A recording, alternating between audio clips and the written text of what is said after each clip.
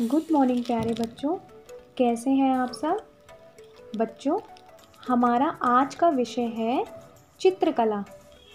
प्यारे बच्चों, आज मैं आपको कुछ जीव जंतुओं के चित्र बनाना सिखाऊँगी। लेकिन एक बड़े ही मज़ेदार तरीके से। कैसे? आइए बताती हूँ। यहाँ इस चित्र में आपको क्या दिखाई दे रहा है? एक से दस तक की गिनती। ये तो आप सब लिखना जानते ही होंगे। पर यदि मैं आपसे कहूँ कि इन दस अंकों की मदद से हम दस अलग अलग तरह के जीव जंतु बना सकते हैं। बताइए, सीखना चाहेंगे? आइए, शुरू करते हैं। यहाँ पर मैं सबसे पहले नंबर वन से बनाऊँगी। एक, जिराफ।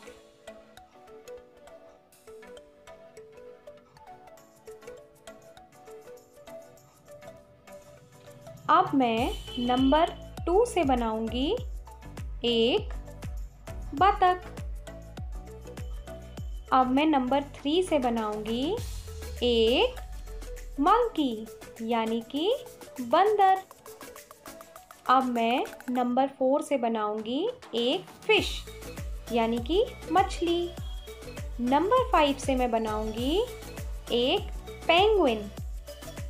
नंबर सिक्स से मैं बनाऊँगी एक स्नेल, यानी कि घोंगा। नंबर सेवन से मैं बनाऊँगी एक डॉग, यानी कि कुत्ता।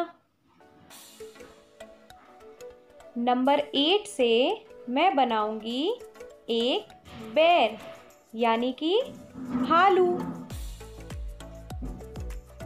नंबर नाइन से मैं बनाऊँगी एक तोता, यानी कि पैरट। और नंबर टेन से मैं बनाऊँगी एक बी, यानी कि मधुमक्खी।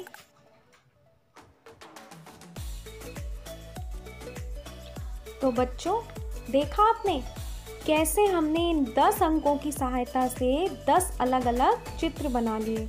वो भी बड़े ही आसान तरीके से। आप भी इन अंकों का इस्तेमाल करके ये चित्र बनाने का प्रयास ज़रूर कीजिएगा। और अपना ख्याल रखिएगा। हम फिर मिलेंगे। तब तक के लिए बाय बाय